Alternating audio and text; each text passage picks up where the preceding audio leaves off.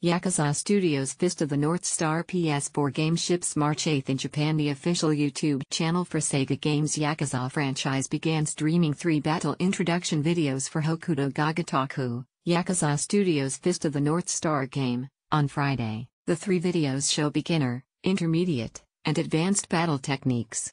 Beginner, intermediate, advanced, the game will ship for PlayStation 4 on March 8 in Japan after a delay. The game takes place in the world of Fist of the North Star, and will feature a completely original story. The game will feature familiar characters from Fist of the North Star, and will also feature original characters that original manga artist Tetsuo Hara is designing for the game. Takaya Kuroda, who plays Kazuma Kiryu in the Yakuza games, will voice Kenshiro in Hokuto ga Gotoku. In the game's story, Kenshiro learns that his beloved fiancée Yuria has died. Kenshiro hits rock bottom after learning of this devastating news, but one day he hears a rumor Yuria is in fact alive. With hope in this rumor being the only thing keeping Kenshiro alive, he wanders through the wasteland and manages to reach the miraculous town called Eden.